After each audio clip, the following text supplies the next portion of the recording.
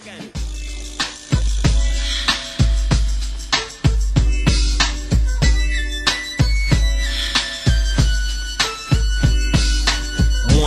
two, three into the four. Snoop Doggy Dogg and Dr. Dre is at the door.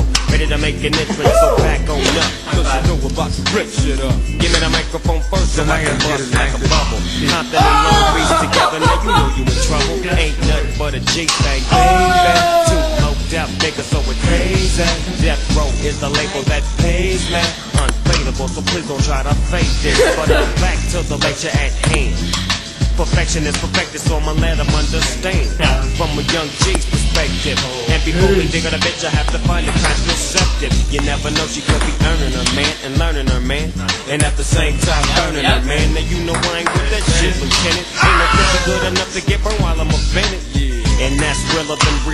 Holyfield. And now you hookers and hoes know how I feel. Well, if it's good enough to get broke off a proper chunk, I take a small piece of some of that funky stuff. It's like this and like that and like this and uh, it's like that and like this and like that and uh, it's like this and like that and like this and uh, Dre creep to the mic like a fan. Well, I'm peeping and I'm creeping and I'm creeping. But I giving. Now it's time for me to make my impression felt. So sit back, relax, and strap on your seatbelt. You've never been on a ride like this before.